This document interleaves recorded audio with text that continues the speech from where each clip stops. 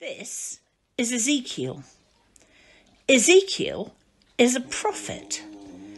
That means that God tells him things and shows him things.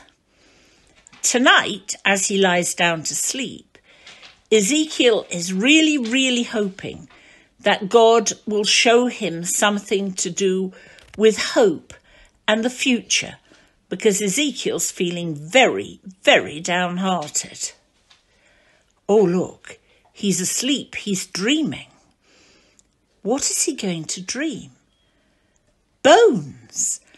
Just a whole jumble of bones, not even skeletons.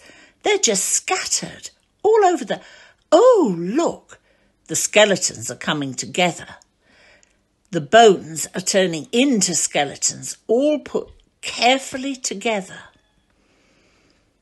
They're more like people now, but they're still not people. They're not anything like alive.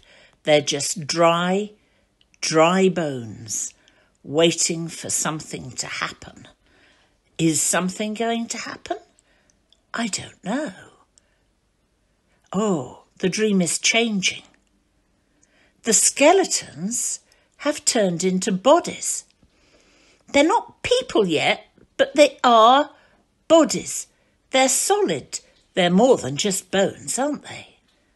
But they're not alive. Nothing like alive.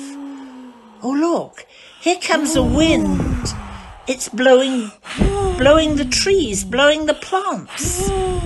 It's blowing all over the people. Will the wind do something?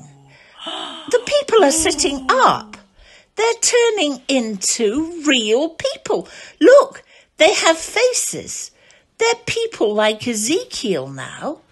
How astonishing! God has blown on them and they've all come alive. There was hope after all. Oh, the dream is ending. Ezekiel is waking up. It's morning. Good morning, Ezekiel. Will you go and tell everyone that God can bring hope, however silly it looks to have hope? Please, Ezekiel, tell everyone that there is hope now for everyone.